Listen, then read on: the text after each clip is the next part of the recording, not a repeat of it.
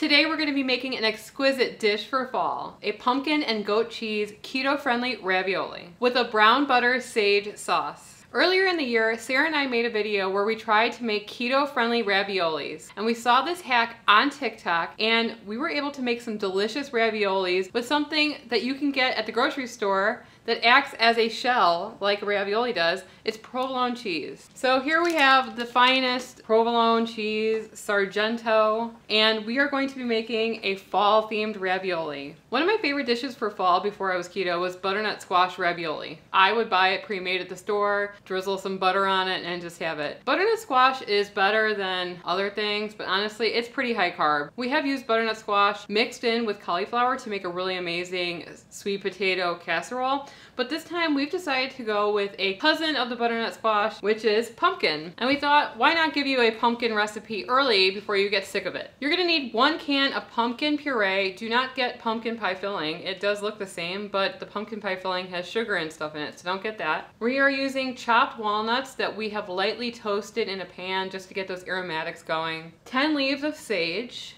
a shallot, also known as a shallot to the layman, minced and in some olive oil on the pan, which is cooking right now. The process seems pretty straightforward. We have melted a stick of butter and then taken out the milk solids to have clarified butter. We threw in 10 sage leaves to infuse the butter with sage flavor, but you don't want to eat that because it would be very, very strong. After I've taken out the sage leaves, I've turned off the heat. I add about half a teaspoon of garlic powder because I really like garlic and everything. We have our shallots here. We're gonna add in half of the can of pumpkin, mix it all together. I added in a splash of apple cider vinegar, probably like a tablespoon, and I stirred that in. Now I'm gonna add one fourth of a teaspoon of nutmeg, and that's gonna give it that fall vibe.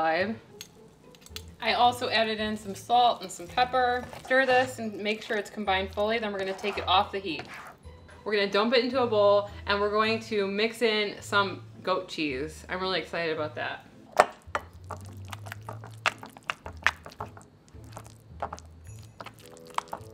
We're not gonna over combine it. I like the idea that some like big chunks of goat cheese might be in there to melt in your mouth. I'm gonna try it. Mmm. Very good. Okay, now it's time to prepare our keto raviolis, which is pretty much Sargento's provolones, which are little circles here. I have them on some parchment paper, and we're gonna be putting them in the oven at 350 degrees for about three minutes, but we're gonna keep an eye on it because they kind of turn pretty fast. You don't want them to burn, so your oven might be a little bit different, so keep an eye on them. Stay close to your oven. So after we fill them and seal them, we're gonna put them back in the oven just to cook them a little bit longer. Do as I say, not as I do. I walked away to get a drink and they're already been in there for too long.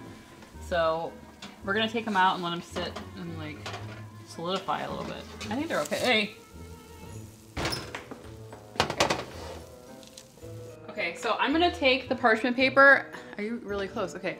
I'm gonna take the parchment paper and I'm gonna slide it onto my countertop. It's gonna be a little cooler and it's gonna help to solidify the cheese a little bit before we start filling them and sealing them. Okay, so it's pretty simple. I'm gonna take half a tablespoon of the filling and I'm going to fill my raviolis. And I'm gonna take the cheese, I'm gonna fold it over and I'm gonna take my finger and kind of seal it. And then I'm going to take my raviolis and put them back on the sheet pan and put them in the oven just for another minute to warm them through. We're gonna plate them up and try them.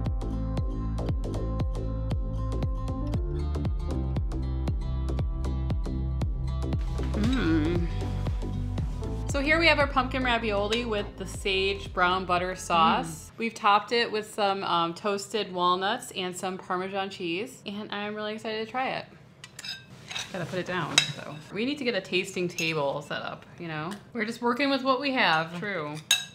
There's no graceful way to do this, really. I'm just gonna shove it in my mouth. Mmm. what? What? You're like, mmm. Mmm. That brown butter sauce really elevated this dish. It tastes like fall to me, mm -hmm. fall vibes. The walnuts add a little texture to it. I would say it's kind of pale looking without that sage leaves. You don't want to eat the sage leaves. It's, they're just for garnish. Some people fry sage leaves. Oh, really? Um, like chiffonade it and fry it. Don't eat raw sage leaves. They're kind of overpowering. I'm loving the walnut yeah. aspect. It's got like this little crunchiness to it. It's absolutely delicious. And you know what? I was worried about creating this recipe and tweaking it from other recipes because I felt like it's really easy to go sweet. And I definitely wanted it to be a savory dish. Mm -hmm. And I think that that has been accomplished. I also think it's a very very sophisticated palate. Oh, it's delicious. I'm trying to use pumpkin because there's not many carbs in it. Right. You know, instead of butternut squash. Butternut squash. Sarah even tried to grow her own pumpkin, but I did. unsuccessful. No, I did. I had a pumpkin. What do you mean? It was more ornamental type of fun. Fairy tale pumpkin. Oh, one tip though we would say is that you gotta make them fast once they are um, on the granite or on the cooling surface because they will solidify and be hard to kind of like Manipulate. manipulate and seal. So if they do become too um, firm, throw them back in the oven for like 30 more seconds so you can get them warm enough to be pliable again. Yeah, this type of provolone, maybe it's this Sargento one, it's not very smelly. Mm-hmm. Some provolones can be a little bit overwhelming. This one I don't smell at all when I cook it. We will put this recipe on the website, ketotwins.com. I think that you would go to an Italian restaurant and have four or five of these raviolis for 20 bucks a plate, easily. If you like this video, please give it a like. It does help us out with the YouTube algorithm so that more people will see our videos. And don't forget to subscribe for more keto lifestyle content. And if you guys want to see the other video where we use this hack to make a sausage filled ravioli, you can click on the video on the screen and we'll see you over there. Anyway, I'm Sarah. And I'm Emily. And we, are, the Keto, Twins signing out.